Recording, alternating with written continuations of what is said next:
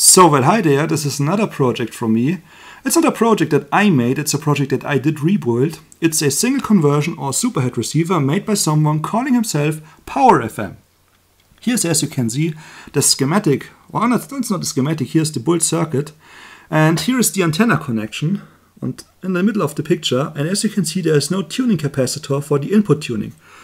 In the middle of the picture you will see wherewith I can align, align the complete frequency from the complete AM band, 520 to 1630 kilocycles or kilohertz. The, the superhet is not mixing down frequencies to 455 kHz, no, it's mixing up frequencies to 4 MHz. Here are the crystals, wherewith also my ground connection is connected to the circuit because the case is laying on ground.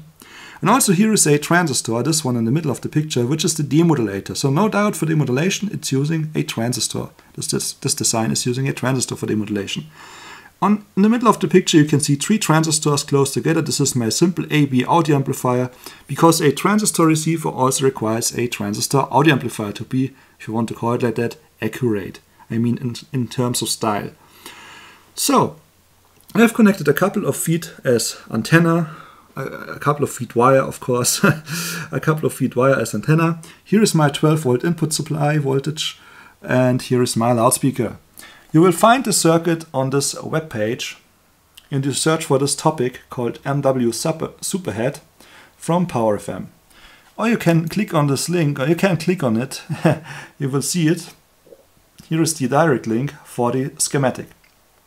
On R17 you have to add a 10 nanofarads in parallel to make the circuit working. He forgot to draw this uh, capacitor in.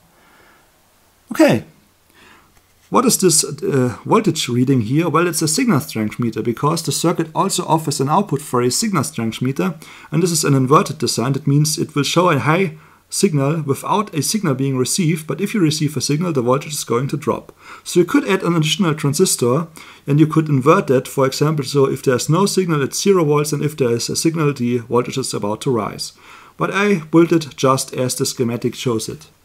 So now we are going to have a close, uh, a short scan through the medium wave band with a short antenna. I'm starting on the lowest frequency and I will show you the meter or attempt to and we will see what we can receive, or better what the circuit is able to receive.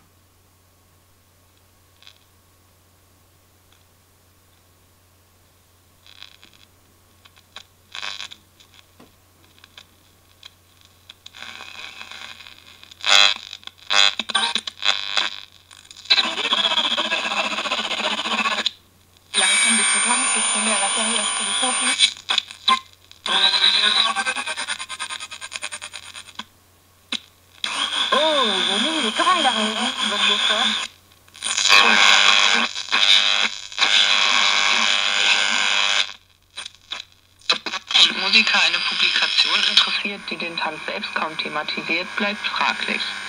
Einleitung und Synthese dürften diese Leser überblättern.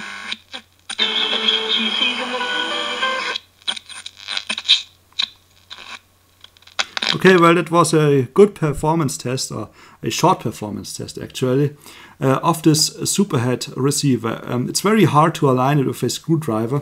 And PowerFM also, I think he suggested that you have to add a varicap tuning so you can align it with a variable resistor like you can see here. But I was too lazy to build that because I've read that too late. And so I just used a normal variable capacitor. But it's really an interesting and neat design designed by PowerFM, a superhet for the medium wave band. So now the video in German. So, hallo Leute, ein neues Projekt von mir, nicht ein Projekt von mir, ich habe es nicht entwickelt, ich habe es bloß nachgebaut, ein Projekt von PowerFM, wenn man so möchte. Ein Mittelwellen-Superhead, ein sehr interessantes Design, denn anders als die meisten Schaltungen, die ich kenne, mischt dieses Superhead die Frequenz nicht runter, nein, es mischt die Frequenz hoch und zwar auf 4 MHz. Hier sieht man den Quarz ZF-Filter, 4 MHz. Hier habe ich auch meine Erdung angeschlossen, da die Quarzgehäuse auf Masse liegen. Das bringt viele Vorteile mit sich. Zum einen haben wir hier einen kleinen Drehkondensator in der Bildmitte, der das ganze Mittelwellenband einstellen kann, von 520 bis 1630 kHz. Und zum anderen haben wir hier eine Spule, die keinen Parallelkondensator als Eingangskreis braucht, also nicht abgeglichen werden muss. Hier habe ich jetzt gerade mal ein paar Meter Draht als Antenne angeschlossen. Hier ist die 12 Volt Versorgung und hier ist der Lautsprecheranschluss, der natürlich zum Lautsprecher geht. Auch interessant ist, dass in der Bildmitte zu sehen ein einziger Transistor hier als Demodulator genutzt wird. Es wird keine Diode verwendet, nur ein Transistor. In der Bildmitte ist nun auch zu sehen eine 3-Transistor-Schaltung, drei Transistoren sehr nah zusammen. Das habe ich noch hinzugefügt, das ist dem Originalschallplan nicht vorhanden, ein kleiner AB-Audioverstärker. Und dem Ganzen ein bisschen Style, wenn man so möchte. Oder ja, Feeling in Anführungszeichen zu geben. Denn eine Transistorschaltung und dann ein LM386, das wäre ja langweilig, in Anführungszeichen. Dieses Spannungsmessgerät ist ein Feldstärkenanzeiger. Es zeigt an, wie stark der Sender empfangen wird. Dabei ist es invertiert. Wird kein Signal empfangen, haben wir viel Spannung, wird ein Signal empfangen, sinkt die Spannung. Mit einem weiteren Transistor könnte man das natürlich noch invertieren, dass bei keinem Signal 0 Volt angezeigt werden und bei einem starken Signal eine hohe Spannung. Aber ich habe es jetzt einfach mal so aufgebaut, wie es im Schallplan ist. Ihr findet den Schallplan auf dieser Seite und da müsst ihr das Thema suchen oder könnt ihr das Thema suchen, MV Superhead von PowerFM. Oder geht einfach auf den Direktlink hier, auf diesen Link, den ihr abtippen könnt und dann habt ihr den kompletten Schaltplan. Bei R17 müsst ihr noch einen 10F parallel schalten, sonst funktioniert die Schaltung nicht. Das hat er einfach vergessen einzuzeichnen, der PowerFM. Aber er hat es, glaube ich, auch im Thema dann erwähnt, dass man den 10F noch einbauen muss. Oder sollte. Gut, ich führe euch jetzt mal einen kurzen Empfangstest durch. Oh, ich, ich führe den vor, meine ich. Ähm, und ich möchte nochmal sagen, ich habe nur ein paar Meter Draht als Antenne dran, also erwartet hier nicht zu viel.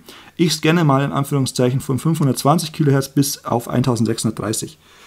Gut, dann fangen wir mal an. Est-ce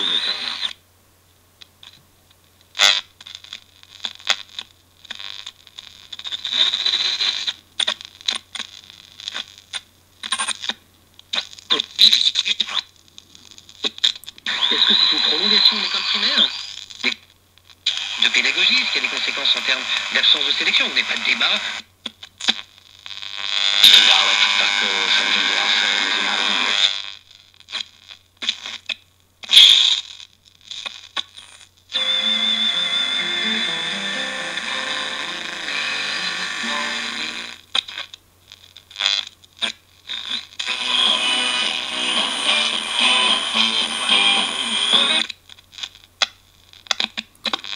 Okay. Konzert auf dem Programm von Konzerthaus und Konzerte Fahne auf dem Kirchenberg Essen, unter anderem mit der Sopranistin Barbara Hennigan. Von Frankreich ein Blick nach Österreich. Diverse Aufführungen in Wien wie im europäischen Aus. Okay, ich glaube, das war jetzt eine ganz gute Vorführung, was so hergeht mit dem äh, Empfänger. Gut. Ja, der Superhead von PowerFM. Wirklich ein schönes Design, funktioniert sehr gut. Ja, mehr weiß ich dazu nicht zu sagen, außer allerbeste Grüße, Stefan.